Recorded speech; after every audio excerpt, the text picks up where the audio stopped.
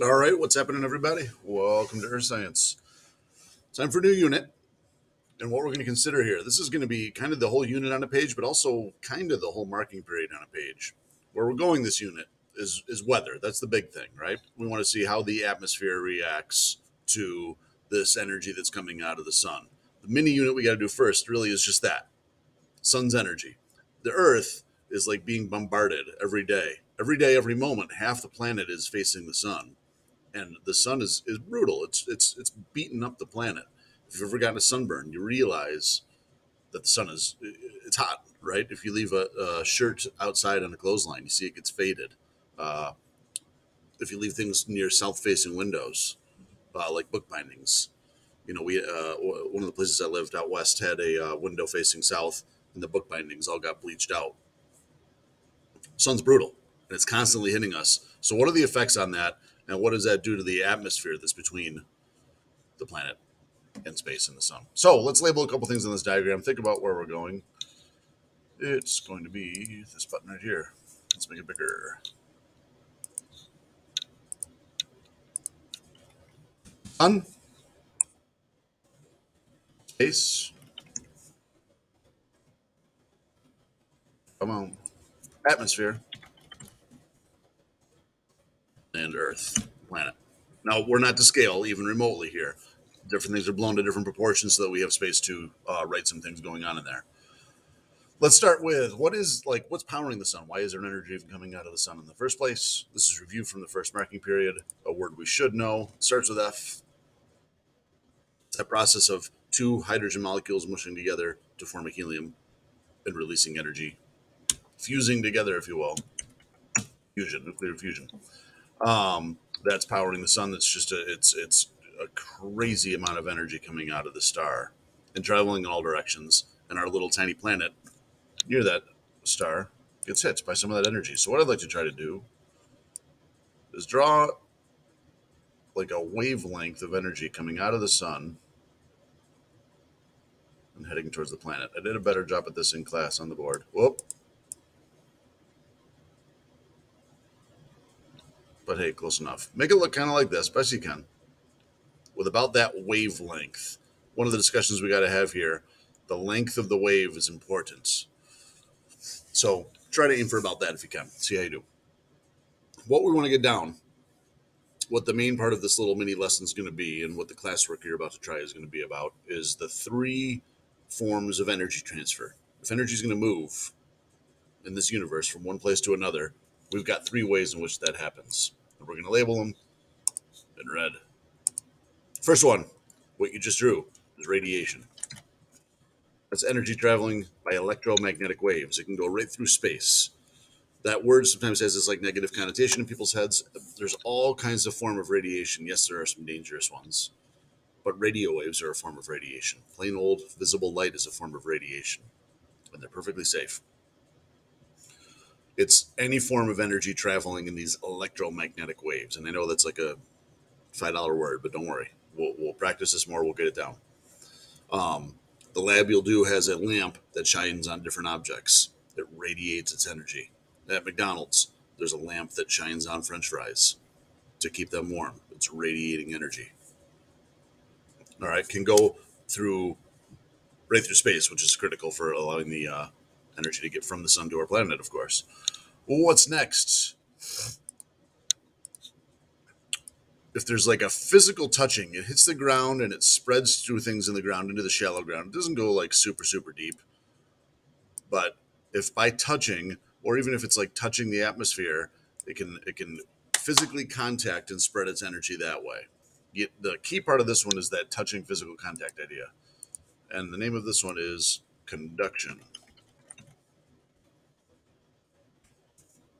And I'll just do a separate box here in a different color to like say in parentheses. You need physical molecule to molecule contact for that. Let me grab something real quick while you write that. I'll show you what the lab's going to be like. Spoiler alert. But it's uh, it's one of the questions in the classwork, so you might as well see it.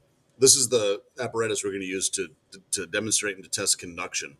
You're going to take this metal bar, put one end in cold, uh, very cold water, one end in very hot water, and we'll see how heat energy manages to go across the bar from the hot cup into the cold cup. And it's all molecule to molecule contact. You need physical touching for that to be a thing. So there's two of three ways that energy can move. The third will be once this atmosphere, we got one other thing to consider with, with the atmosphere uh, heating, but when it gets warm, let's go way back to our first unit. I'm going to make a slightly smaller font here to say that air heats, expands, becomes less dense. Now, going back to the first unit, let's think about air that's less dense.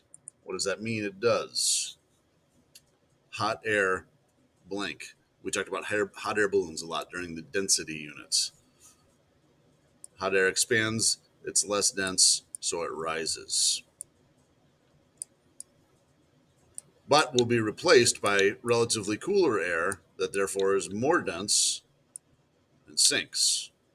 So you get this like circulation of air or or water. This can happen in waters. Uh, if you've ever boiled water for like macaroni and cheese, you dump the macaroni in, you see it like whipping around in little circles. Those are little examples of this current, which is called, excuse me, going back to red, convection.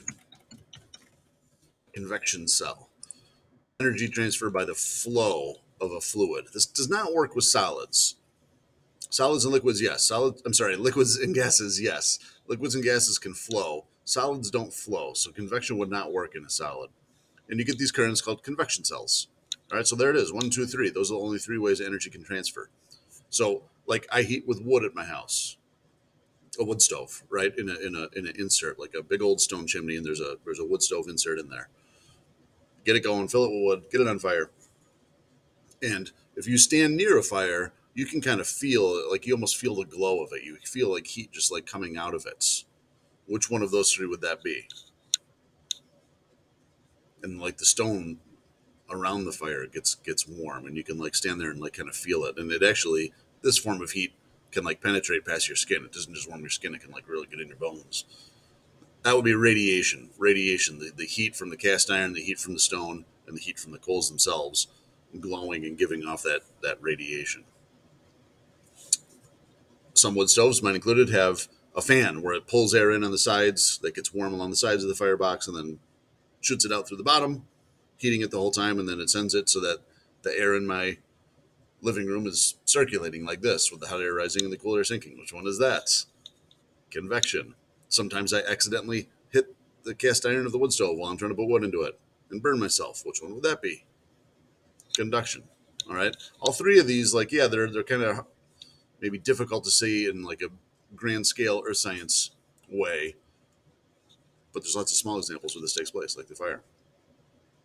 Okay, what else? So what else can happen? Radiation can just bounce. Like it hits, it, if it's at a low angle, it can even bounce right off the top of, of the atmosphere. Uh, bounces off the top of clouds because they're white. It bounces off of like a lot of things that are white, like uh, like take snow covered fields or, or, or, vast ones like like polar ice caps or or you know Greenland that's all white ice. Hits that it's going to bounce right off. And if it bounces off it kind of maintains this wavelength and just goes shooting right back out into space and boom it's gone. That's not really even an energy transfer. That's just the radiation going here and then going here. So what we got to think about is what are the ones where energy like hits and actually heats the earth if it just bounces it's not heating otherwise snow would melt instantly every time, right? We wouldn't even know what snow is. Um, what are the ones where it hits the earth and it sucks in and absorbs a little bit? So I'm going to just blow this up a touch to give myself more space. Some surfaces are better at absorbing energy than others. And in fact, that's what your first set of labs is going to be, your triple lab. We'll do down here the dark slash rough, R O U G H uh, heats faster. Things that are dark and rough heat faster. Things that are light and smooth heat slower. Dark, I think it's obvious. If you've worn a dark shirt outside in the summer, you you you notice that. If you've walked outside barefoot and you've stepped on the grass or on blacktop, you notice that. Blacktop's like a perfect example because both it's both dark and it's got a rough texture. It's like got a little, little tiny, you know, where the pebbles come together. It's got that rough texture, which gives it more surface area, more ability to like grab that heat and absorb it. this is really going to be what drives weather. When I say that we're doing like the whole unit in a in a one little diagram here, the idea that some surfaces heat differently. So you take this energy out of the sun, it hits the curved earth at different angles, so more efficiently when it's higher overhead. We did that back with seasons. Less efficiently when it's at a at an angle, or when it hits something like dark rough surfaces. You know, picture the difference between sand, an ocean, uh, like a desert. When I say sand, a desert, an ocean, a forest, or a glacier. All four of those are going to have very different reactions to the sun. And when there's different reactions, there's differences in heats. And when there's differences in heats, the air is going to react to correct that. Nature doesn't like imbalance. When there's differences in heat and there's differences, therefore, in pressure, the air is going to move to try to correct for that difference in pressure. And really, moving air is all meteorology is. That's that's weather right there. Air is moving, and it's moving because the Earth is differentially heated by this by this incoming solar radiation. So yes, you can go get a uh, you can do a lot of very difficult college work and get a degree in meteorology. End of the day, that's it in one sentence. The air moves because the sun hits the Earth in different ways in different places, and the air wants to correct for that imbalance. Cool. All right. What else? Anything that's warm here in this universe, you as a warm-blooded mammal, turning food into like metabolic processes, staying alive, being at about 98 degrees, you are going to give off energy. I'm currently warm. It's certainly in context of this universe, even if it's a cold day. But oh, it's cold in here. In context of the universe, here you are, you are a warm body. You're going to be giving off radiation. I have an infrared camera I'm going to find, and we'll play with it when you're in the room at some point. You can point it at different things. You can see how much infrared energy it's giving off. It's not like a light camera that works like the way that most cameras you've played with in your life. It picks up on that like heat energy, that infrared energy that things give off. Now there's a trick to that. And here's the idea. Energy comes out of the sun, hits the earth, the earth warms up. That means the earth is going to be giving off more infrared energy. The trick is that when it gives it off, it's a longer wavelength of energy. And that longer wavelength of energy goes through absorption. The atmosphere can absorb that energy a lot more easily than it does this. Excuse me. This energy, it just allows to go popping right through the atmosphere. This energy gets trapped or absorbed. So right there, that little star that I drew, absorption.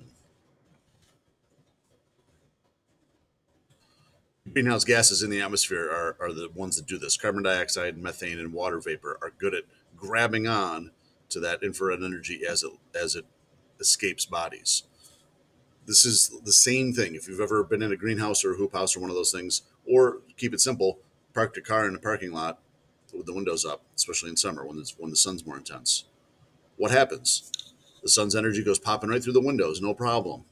Hits the inside and the inside heats up, the things like seats and whatever. If it hits like like say the chrome little belt buckle, belt buckle, seat seat belt thing. You know what I mean? If it hits that, which is shiny, it's going to hit that and reflect and just leave right out the window as easily as it came in. But if it hits something that can absorb energy, like anything that's dark colored, the seats, the interior, anything, and all of that warms up, then that gives off infrared energy like this, and that infrared energy cannot escape the, the windows of the car. So it's trapped. It's the greenhouse effect. And CO2 and methane do that very tangibly. Like there's, if you're thinking, oh, there's controversies, maybe the is not uh, not telling me the truth. That's just that's just reality. Yes, there are politically driven controversies around climate change. This is not controversial. This is just exactly how the nature of a greenhouse gas works, just as it does in your car. And we will like we're not going to leave it there. Today that's where we're going to leave it but that's not where we're going to leave it like long term with this course we'll continue to analyze that think about that in a larger context but i don't want to get too complicated today. Energy comes in heats something out. When something's hot it gives off more of this energy. That energy gets trapped. Close enough. I'm not even going to write those greenhouse gases. We'll worry about that another time. I think that's going to be about it. I'm going to throw one more thing at you quickly. That's maybe small potatoes, but I'm going to throw it out there because you never know if you're going to run into it on a classwork, maybe somewhere on question nine, perhaps it'll pop up. Some energy, when it comes out of the sun, that's less good of a line, but no big deal. When it light can go faster in less dense materials. You've heard the speed of light thing. Speed of light in a vacuum is what we usually measure. It goes slightly slower, not like slower enough that it's a big deal to like our everyday reality, but it goes slightly slower through a more dense material. So as you get into more and more dense layers of the atmosphere, it goes slightly slower, and it goes into water, it goes slightly slower again. And what that does is bend light waves a little bit. So Every time that it slows a little bit, the light waves might bend. Now you've actually noticed this. Here's our science experiment you've done before. Let's write waves bend. If you've ever fished, you see your fishing line going into the water, and then it gets to the surface of the water, and it looks like it bends and takes off in that direction. The line itself is not actually bent. You know that. It's the light waves that are bending, is because they go a little slower in that water because that water is more dense than the air is. Uh, if you've ever, I don't have a setup here, but if I wanted to take this pencil and stick it in the water, you do it with straw in a glass of water, you ever see that? How the straw like looks like it's bent? Again, the straw's not bent. The light waves are bent because of the light traveling from one density material to another. That is called, and again, not a big deal. All this other stuff's more important. But you get to question nine, and you say, that is refraction, Mr. F. Refraction, the bending of light waves. Something we'll get into more. I don't want to go too deep on just an intro thing. So that should do it for a good old intro. Again, that's kind of the whole unit in a can. We got a bunch of lab work to do with it that'll lead into weather. It'll all be great. Thanks for sticking with me. Ooh, 16 minutes, long one. Thanks, folks. We'll see you soon.